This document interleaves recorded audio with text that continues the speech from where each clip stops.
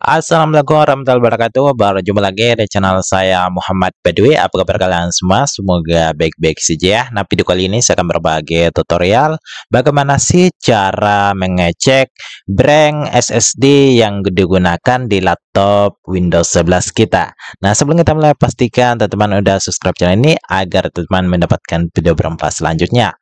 Oke kita langsung saja pada tutorialnya. Caranya itu kita arahkan kursor ke menu taskbar yang ada di sini kita klik kanan. Lalu di sini ada menu manajer tugas kita klik saja.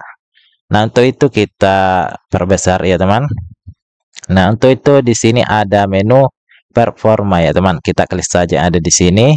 Nah di sini kita klik saja menu dis nol ya teman yang ada di sini.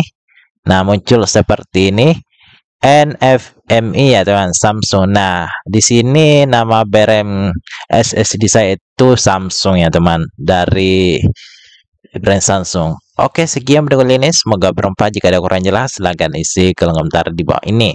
Dan jangan lupa subscribe, like, dan share. Oke, Assalamualaikum warahmatullahi wabarakatuh.